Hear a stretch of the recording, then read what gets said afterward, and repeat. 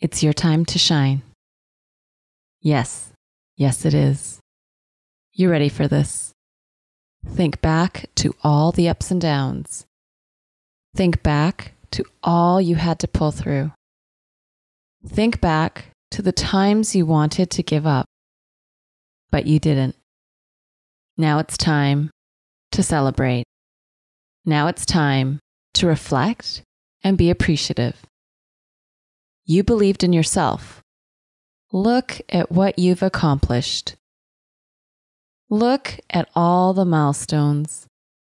You reached your goal. So be the right kind of proud. Be proud of who you are right now.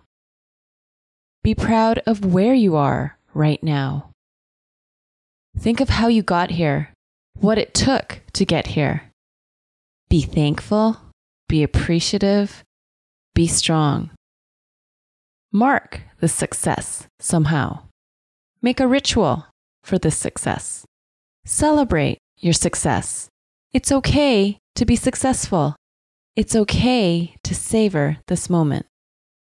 So embrace success with open arms. There are more opportunities down the road. There's more that's going to happen down the road. But here, here in this moment, you got it. You did it. And you can be very satisfied with that. You are who you are.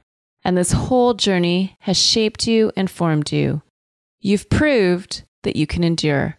You've proved that you can feel discouraged and keep going. You've proved that you can feel disappointed, frustrated, shocked, lost, and still make it through. That's you. That's who you are. That's how you do things. And it got you here. Here you are, successful. Here you are. And do not neglect this moment. Don't set it aside and say, it doesn't matter. Or, I should have done this a long time ago. Or, anybody could have done this. No, no, no, no, no. You did this. You made it happen. You made it work. It wasn't a walk in the park. So give yourself credit. It's okay to give yourself credit. It's okay to be proud of yourself. It shows you believed in yourself, you worked hard, and you got there.